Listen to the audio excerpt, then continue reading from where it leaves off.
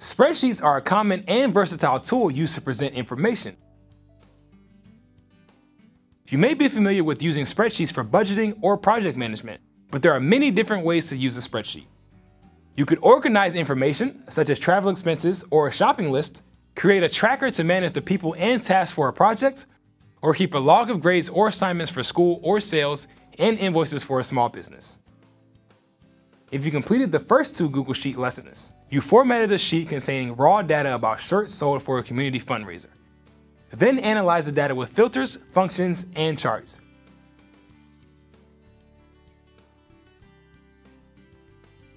But spreadsheets aren't just for organizing and analyzing information. They are also useful tools for making calculations and projections for a business or project. In this lesson, you will import a spreadsheet in another file format into Google Sheets and combine your spreadsheets to create a broader and more inclusive view of the sales data for the fundraiser. Use functions to make calculations and summarize the data so you and your collaborators can scan the sheet quickly to find the necessary information. Use conditional formatting to make specific details in your sheet stand out. And insert non-text elements such as links and images into your sheet to make it more useful and interactive. This lesson uses Google Sheets, but you can apply these concepts in any spreadsheet application. To work on this lesson, sign into your Google account. Open a new tab in your browser and navigate to google.com. If you are not signed in, do so now.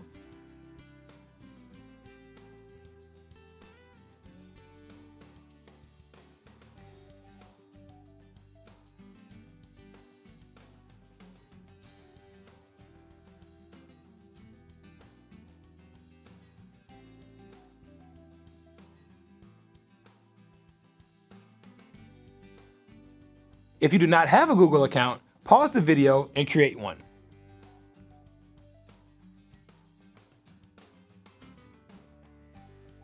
If you completed the second lesson, continue using the spreadsheet from that lesson. Open Google Drive,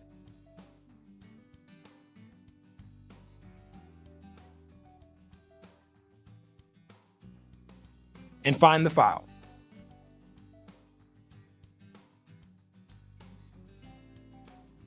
If not, use the starter project.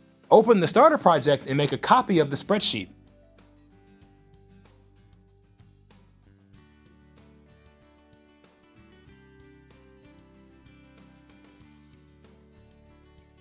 Remove the words copy of and add your name to the title.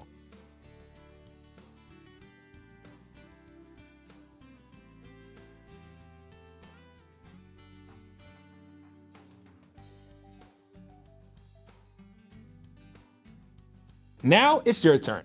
Sign into your Google account, open Google Drive and find your spreadsheet from the previous lesson, or make a copy of the starter project, and update the title.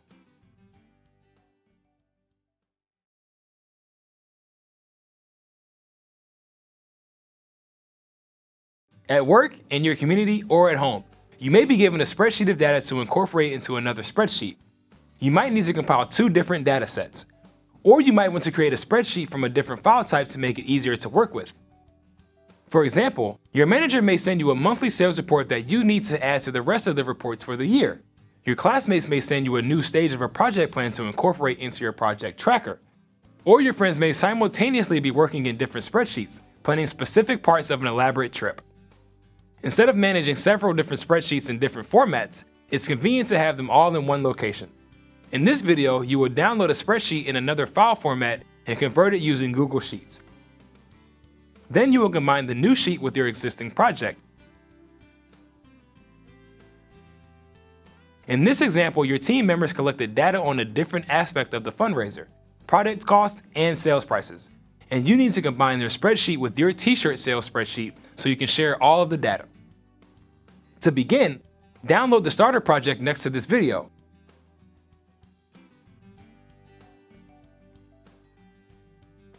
Notice it's a different file format than Google Sheets.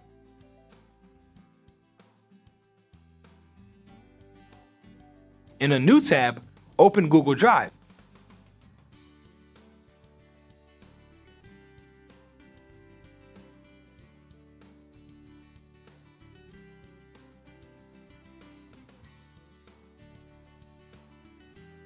upload the spreadsheet,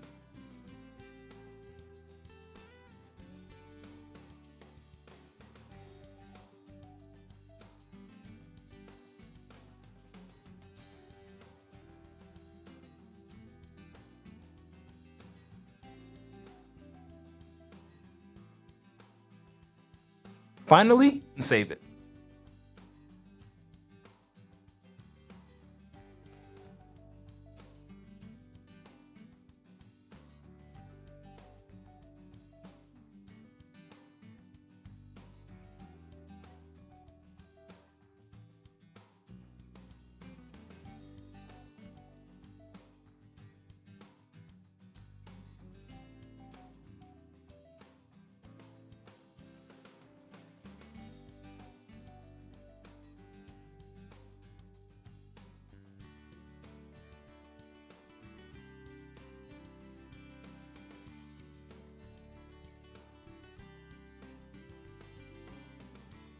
The information in these sheets, such as costs and prices, isn't found in the sales data. There's also not a natural place to cut and paste tables about product cost into an existing sheet. Plus, you already have a sheet of related data, and it's more convenient to have everything in one place. So, copy the new sheets to your existing project.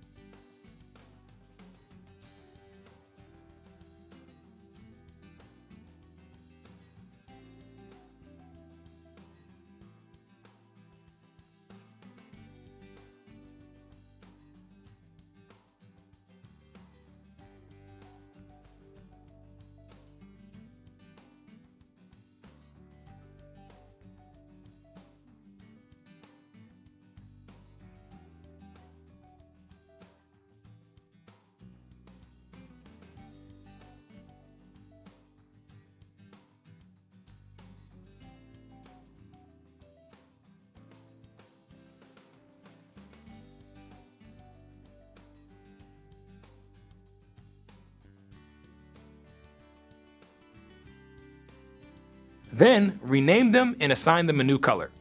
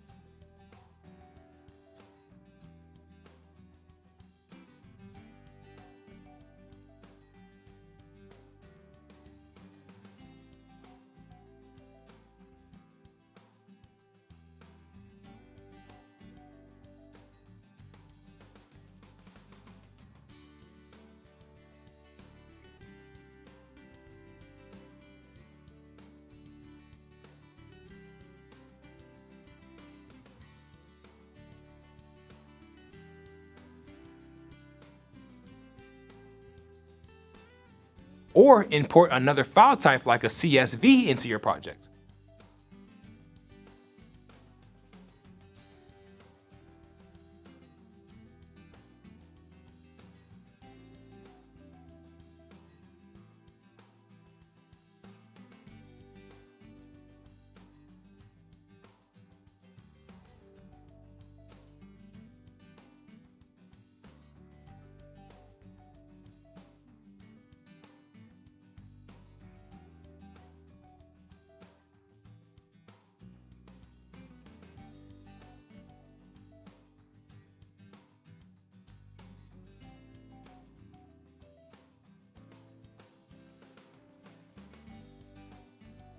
For this lesson, you will use the sales by team member and cost revenue and profit sheets.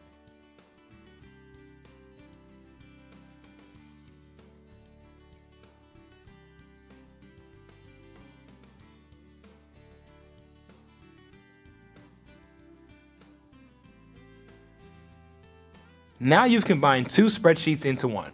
This will make working with the data much more convenient. Now, it's your turn.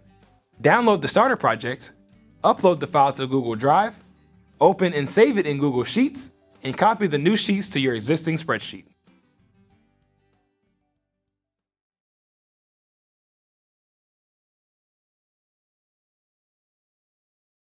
In this video, you will complete the data tables in your new sheets with functions.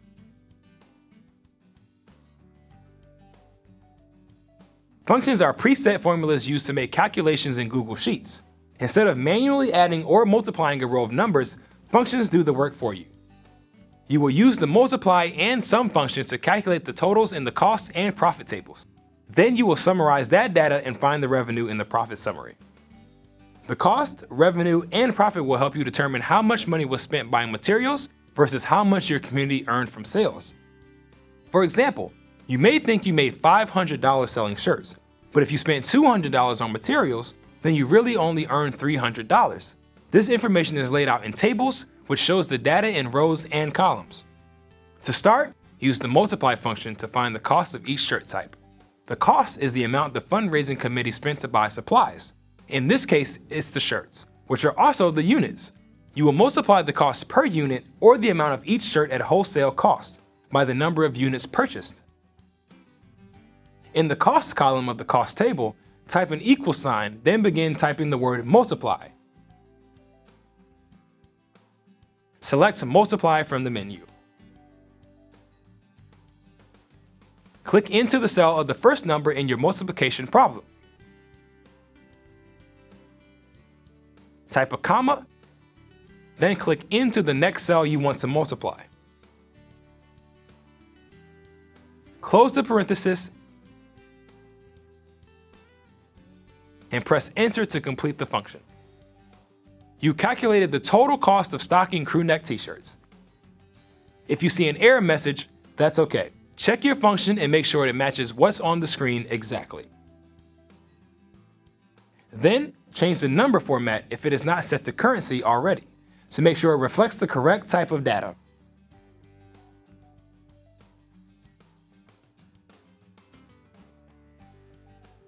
You could repeat these steps for the rest of the items in this table by using the multiplication functions.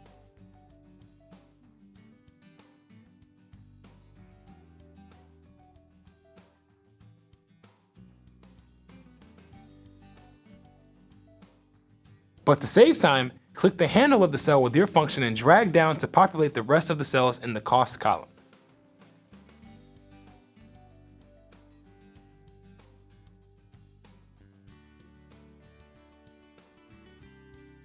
This applies the function to other cells relative to the rows and columns around it. Now you know how much your fundraising committee spent to purchase each type of shirt. Finally, use the sum function to calculate the total units purchased and total overall cost.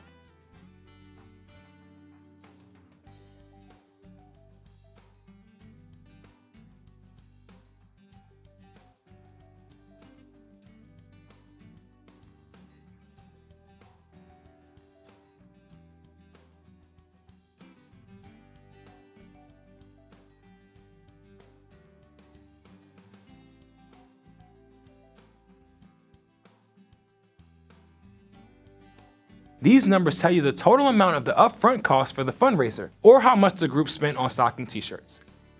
Now that you've determined the cost for supplying the shirts, you can calculate how much money the fundraiser actually earned. Use the sum function to find the actual number of shirts sold in the current sales table.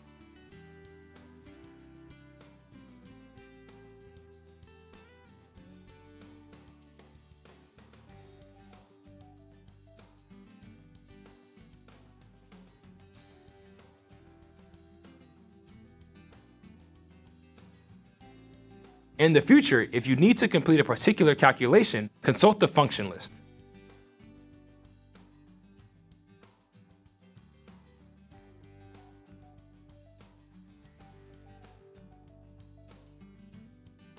You might want to divide numbers to complete a budget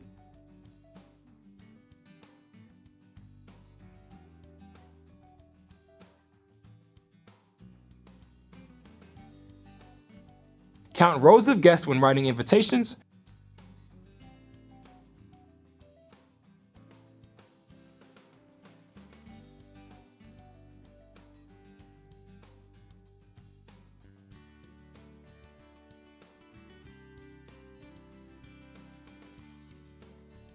or substitute one place name with another when changing plans for an upcoming trip.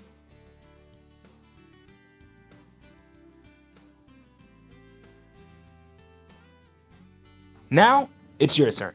Use the multiply function to calculate cost, change the number format to currency, use the sum function to total your calculations and determine your current sales. And if you need to complete a particular calculation, you can consult the function list.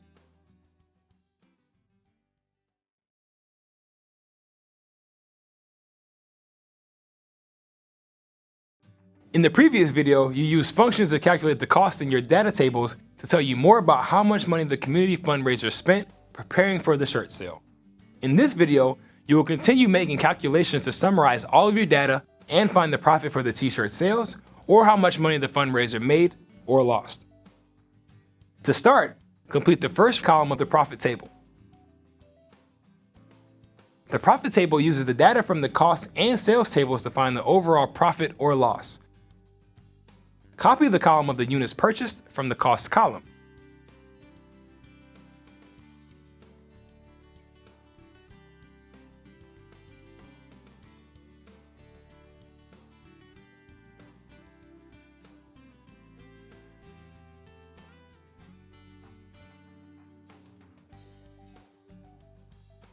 and paste it into the corresponding column in the profit table.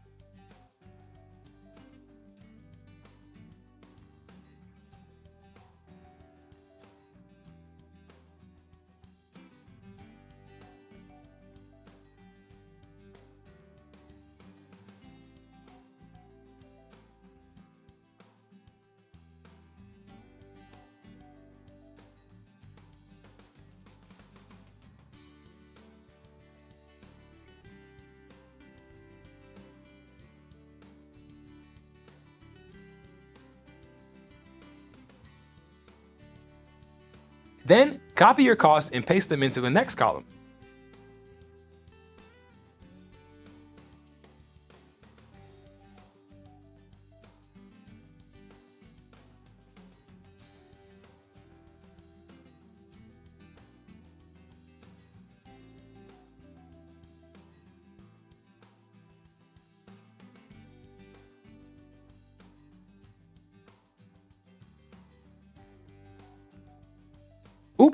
There's an error.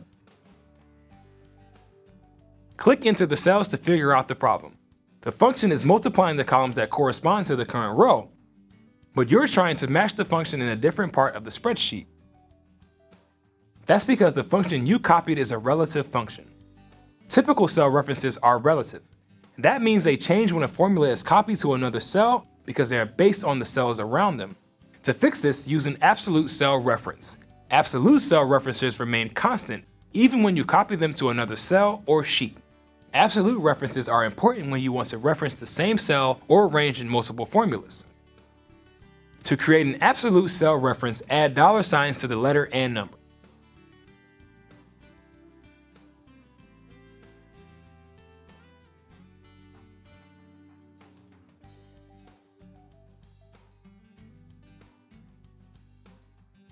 Then drag down the cell handle to populate the rest of the rows.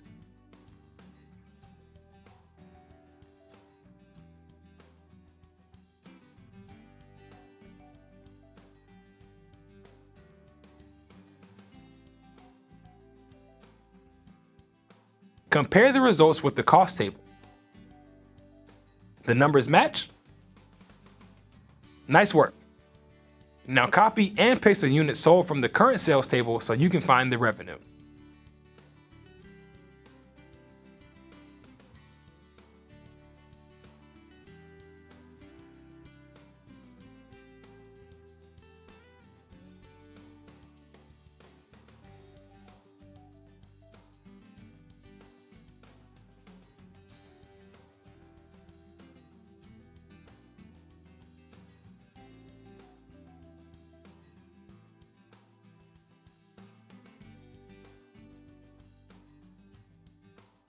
The revenue tells you how much money the fundraiser actually made. Calculate the actual revenue. Multiply the number of units sold by their sales price.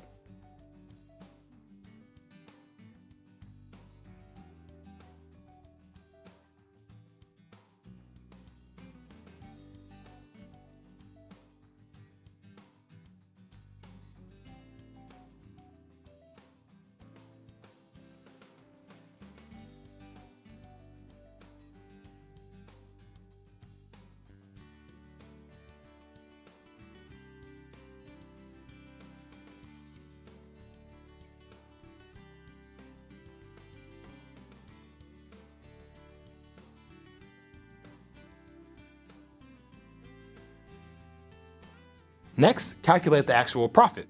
The profit is the difference between how much was spent to prepare for the fundraiser and how much was earned. Subtract the cost from the actual revenue. To make it easier to remember, add the formula under the header.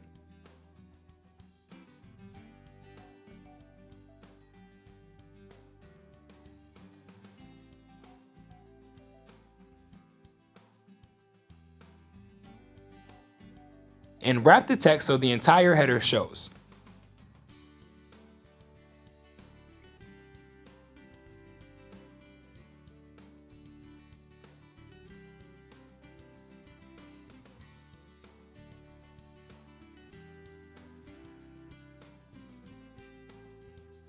Then subtract.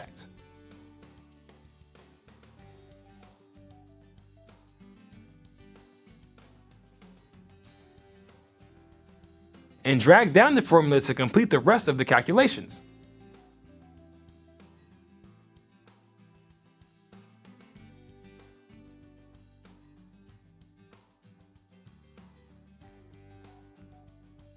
Now, use a subtraction formula again to find the remaining inventory or the number of shirts left over after the fundraiser is complete. This time, subtract the number of units sold from the number of units purchased.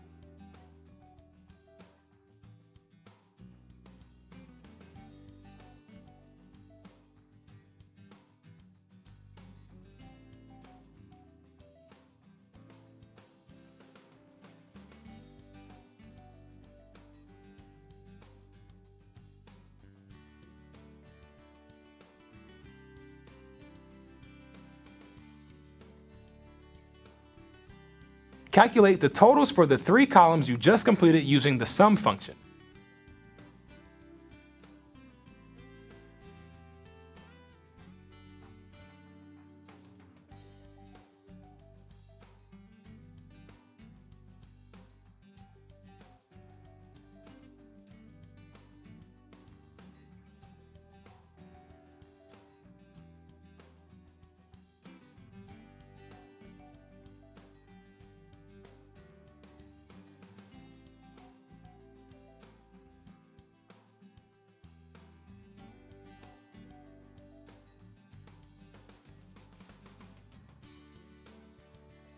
Finally, complete your profit summary table. This pulls the totals from each of the tables into one place, so it's easy to reference and see the most important numbers, such as costs and profit. Transfer the functions you use in each table to the profit summary table. Use absolute cell references so they update automatically based on contents of the tables. Start with cost.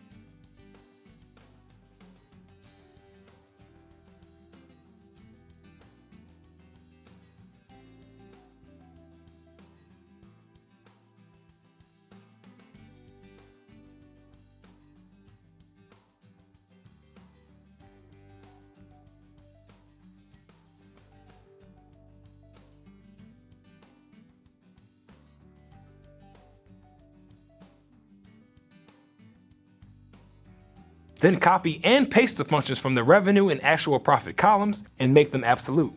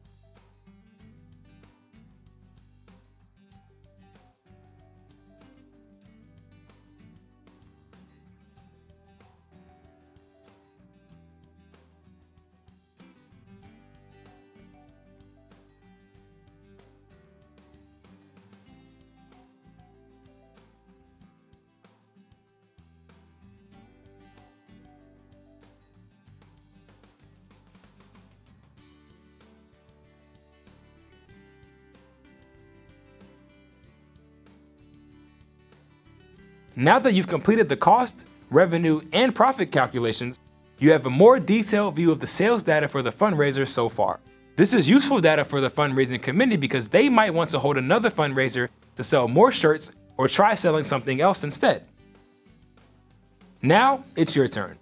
Complete the profit table using absolute cell references, subtraction formulas, and the multiply and sum functions. Complete the profit summary table with an absolute cell references and wrap the text in the header row.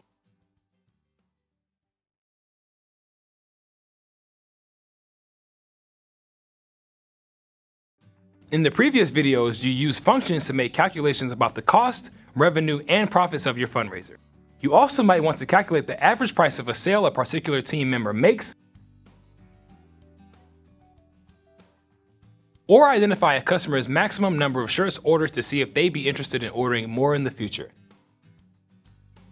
With this data, you can find details such as which salesperson recorded the highest sales, who sold the greatest variety of shirts, and other specifics about each salesperson. In this video, you will use the minimum, maximum, and average functions to analyze your data as it relates to individual salespeople. To start, open the Sales by Team member sheet in your project.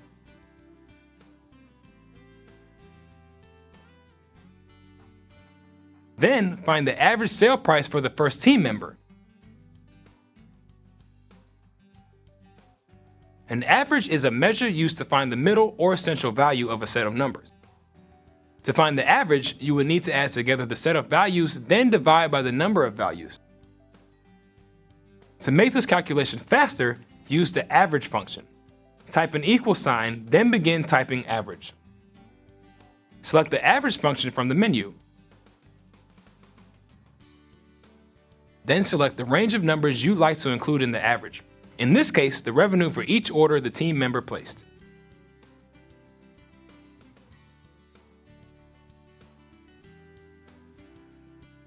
And complete the function.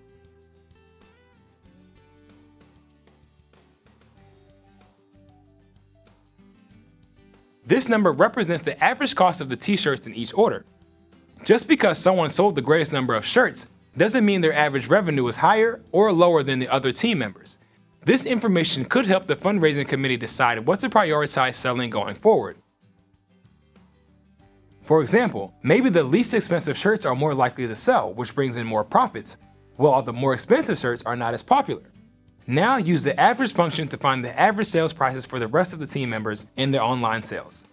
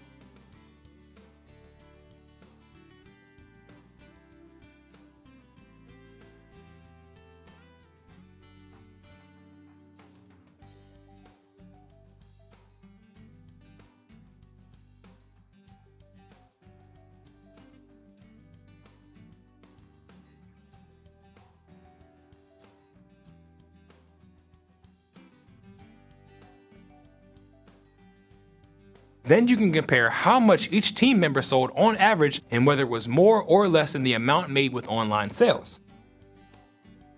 Highlight the team member with the highest average order.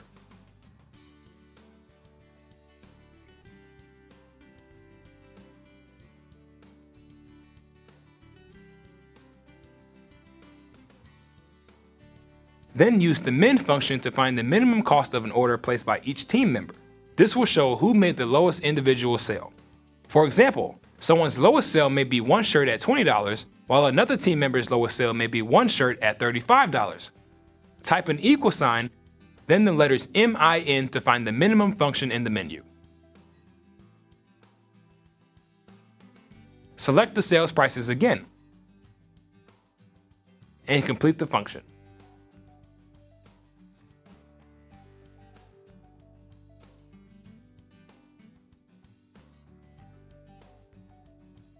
Repeat those steps to calculate the minimum for the rest of the team members in the online orders.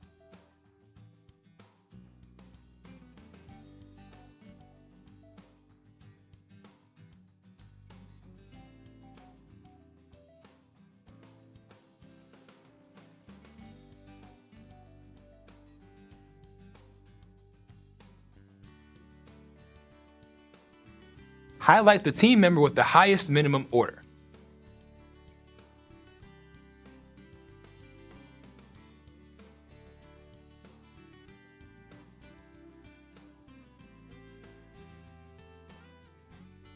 Next, use the max function to find the maximum cost of an order placed by each team member. This will show who made the largest individual sale, such as one order of 5 sweatshirts versus one order of 5 tank tops. Type an equal sign, then the letters MAX to find the maximum function in the menu.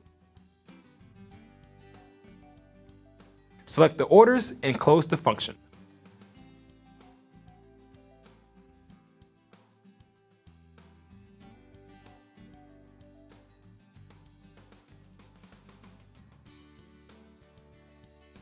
And complete the function for the rest of the column.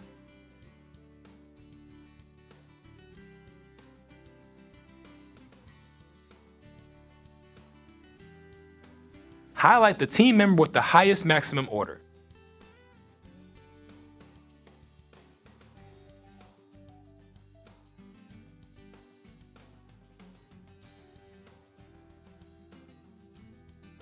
Then calculate the minimum, maximum, and average for each column to show a broader picture of the sales data overall.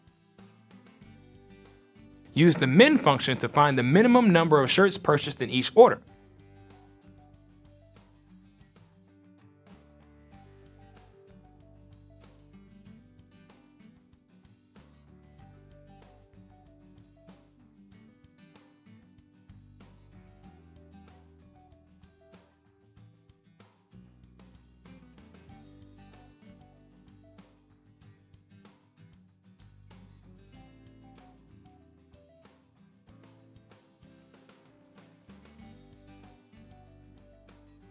Then click the handle of the cell and drag over the function to the rest of the rows.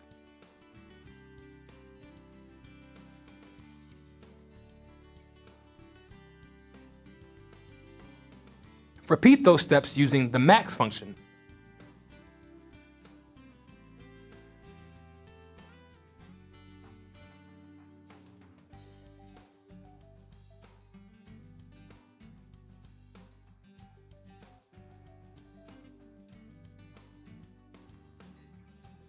And the average function.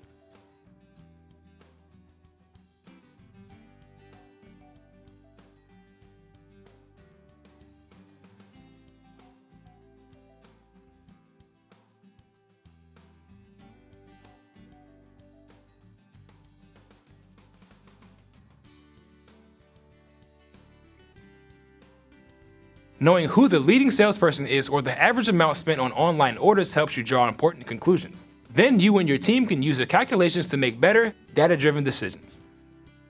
Now it's your turn. Use the average, min, and max functions to determine the average, minimum, and maximum sale amount for each team member. Highlight the largest average, minimum, and maximum orders. And use the save functions to determine the average, minimum, and maximum values in the rest of the data sets.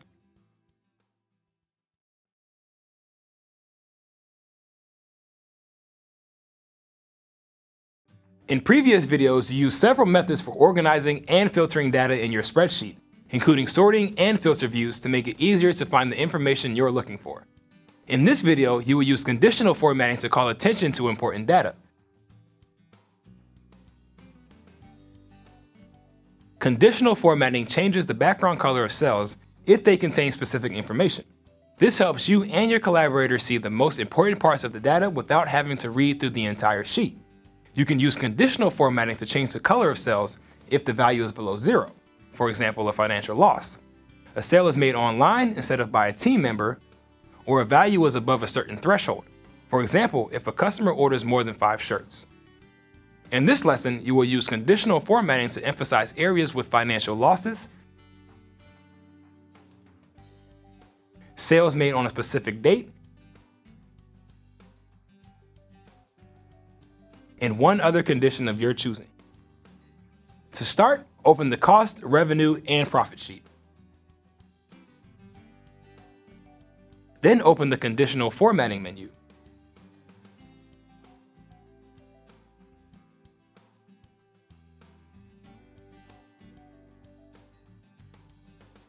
Apply conditional formatting to any cell that has a value below zero. This will show you where there were financial losses.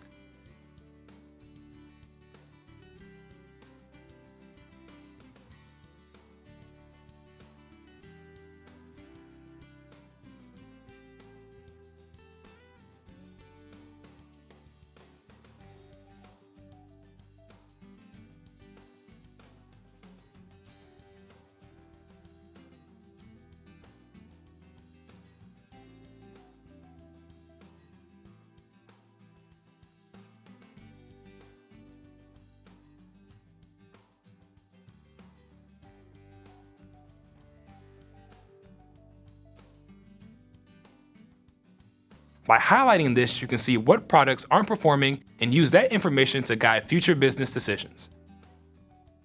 You might use this information to decide not to order these shirts for the fundraiser next year, increase the price to cover business costs, or decrease the price to encourage more sales. Then apply conditional formatting to another type of data, such as sales made on a specific date. This information can show whether a specific date such as a school sports event brought in more sales than an average day for instance.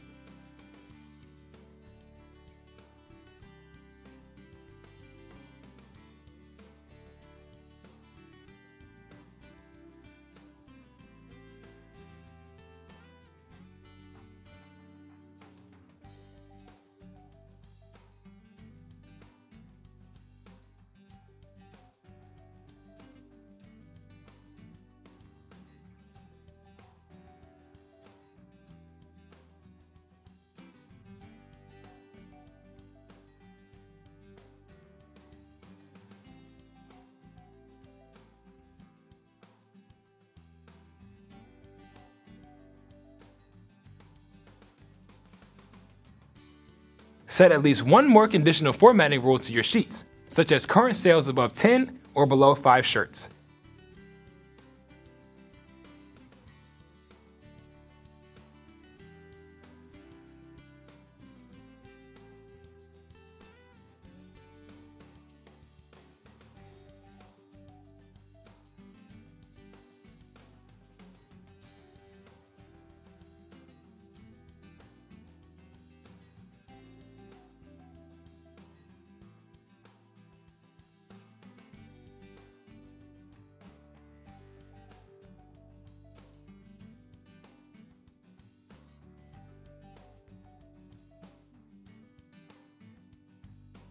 You might also use conditional formatting to emphasize cost above a certain amount in a budget spreadsheet.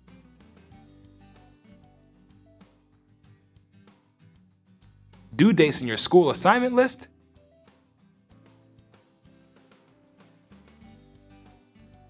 task status in a work project plan,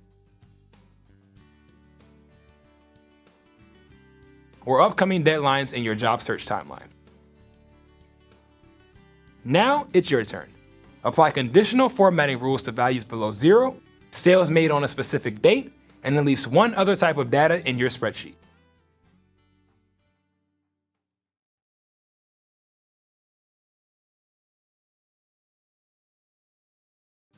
At this point in the lesson, your spreadsheet contains charts and tables to help you visualize and summarize the data. In this video, you will add more non-text elements to your spreadsheet, including links and images. These elements will provide additional context for the data you've already included and help your collaborators interpret the contents of the sheets. You might want to link to a company website to show the shirt designs available, a social media profile to help others connect with your company, or an online portfolio of a particular salesperson or team. To start, open the Sales by Team member sheet to add links. Open the Starter project links next to this video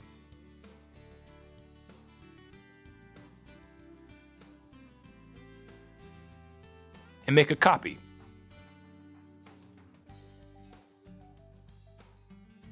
This example uses a scanned copy of an invoice. This is helpful to include if a customer has placed an order but has not yet paid, so the salesperson can be sure to follow up. Then get a shareable URL and copy it.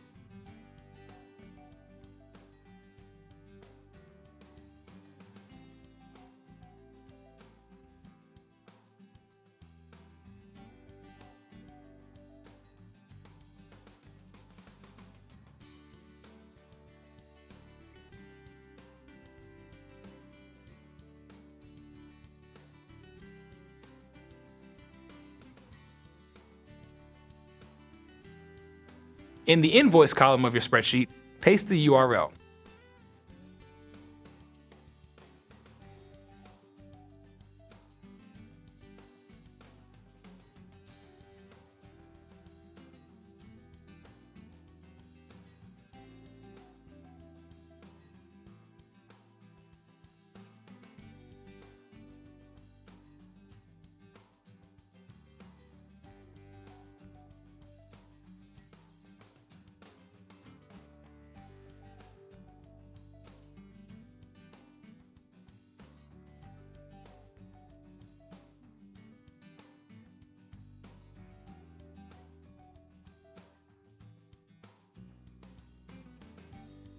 Then insert an image. You could also include a headshot for each salesperson, a photo of the t-shirt designs, or a scanned picture of a size chart.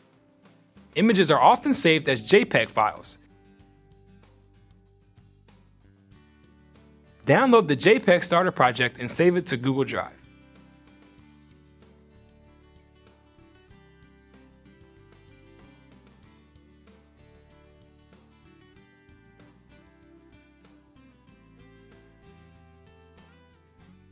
Then insert the image.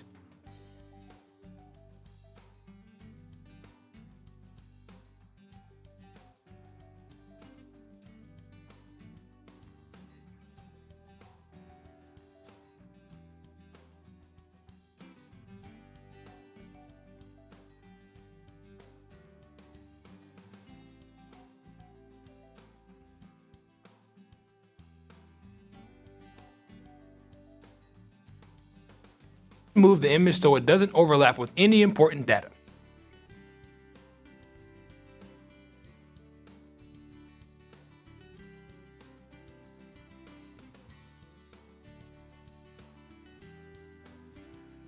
Next, insert a drawing. You might want to show a mock-up of a t-shirt design, a company logo, or an advertisement for an event. If you don't have a design in mind, create a drawing just to practice.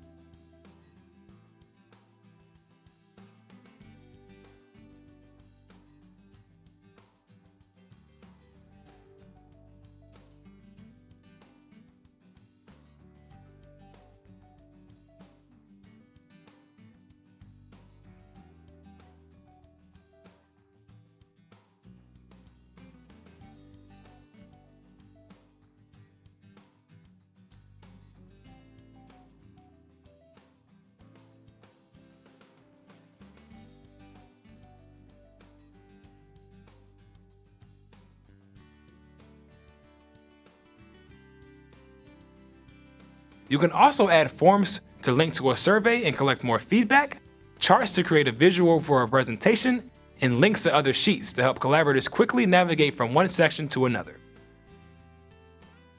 In the online sales column, link to the filter view sheet so that anyone using the spreadsheet can find information quickly without needing to create their own filters.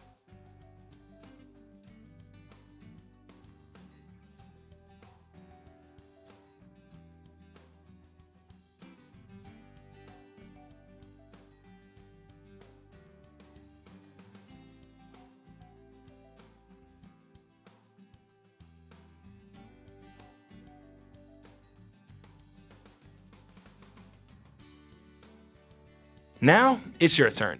Make a copy of the starter projects and save them to Google Drive, insert a link to the document, insert the image of the invoice, insert a drawing, and insert a link to another sheet in the spreadsheet.